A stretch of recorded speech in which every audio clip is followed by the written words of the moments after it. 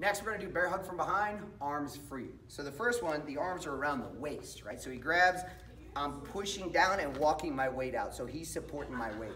Now, I'm not putting so much weight out there that if he lets go, I fall down. If he lets go, I should be able to regain my balance, right?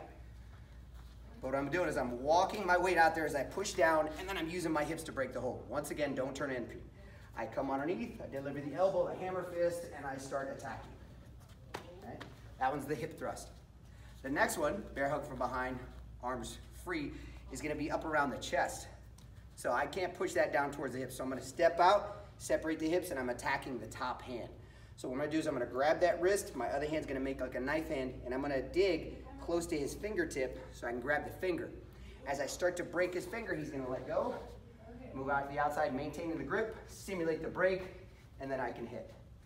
So let's get a close-up image of what I'm doing with the hand. You guys could come over here and get an, uh, a view from underneath. So what's happening is I'm making that knife hand, and you won't be able to dig in here.